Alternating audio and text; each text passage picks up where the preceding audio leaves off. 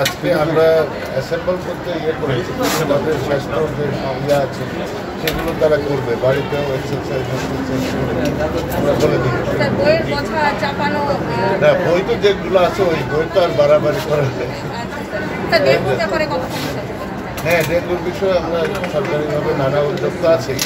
পাশাপাশি আমরা বলছি বাচ্চা কাচ্চাদের স্কুলেও সচেতন করা হচ্ছে। তারা যেন মশারি ব্যবহার করে বাড়ি পরিষ্কার পরিচ্ছন্ন রাখে। বলা? আমরা আমি সিলেট থেকে শুরু করেছি আমার সচিবকে দিয়েছি আমার ডিজিকে দিয়েছি বিভিন্ন বিভাগ জেলার আমি নিজেও সবখানে যাব দেখব। যেখানে আহ, অনিয়ম দেখবেন জাকির হোসেন আমরা তার স্বাস্থ্যবিধি হবে। মাননীয় মন্ত্রী আমরা লাইভে আছি। না, স্বাস্থ্যবিধি আমরা করেছি। যে অনেকটাই তো করা হচ্ছে আপনারা দেখতে পাচ্ছেন। আজকে আমি একটু আসে ঢুকে তো আমার কাছে খুব ভালো লাগছে কি সুন্দর বাচ্চাদের হাতেও স্যানিটাইজার আছে। সবাই মাস্ক পরেছে স্যানিটাইজার নিয়ে হাত ধরে, কি সুন্দর হ্যাঁ এক এক ব্রেঞ্চে এক একজন বসছে ভালো লাগছে